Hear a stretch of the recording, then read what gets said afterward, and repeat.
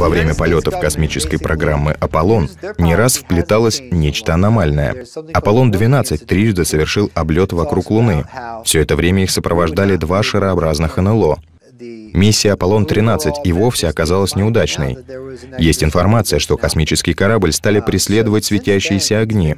13 апреля 1970 года на его борту неожиданно взорвался кислородный баллон, и астронавты были вынуждены отказаться от прилунения в районе кратера Фра-Маура.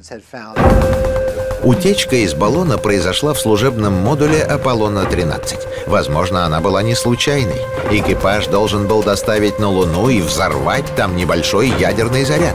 Однако сделать это астронавтам помешала техническая авария.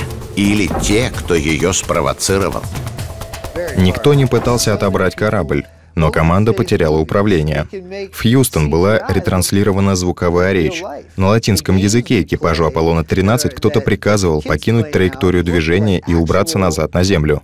Как только содержание обращения было переведено и принято экипажем, управление Аполлоном было восстановлено.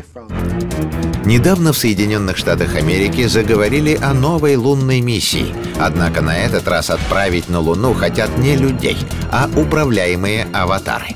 Высокотехнологические костюмы дистанционного присутствия позволяют принять участие в космической программе ученым из разных областей науки – астрофизикам, геологам, инженерам.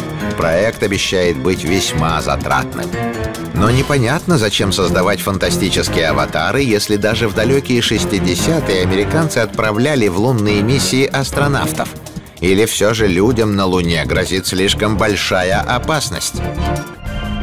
Пользу этой версии работает и теория заговора о том, что подлинные съемки миссии «Аполлон» мы никогда не видели, а все, что опубликовано, фальшивка.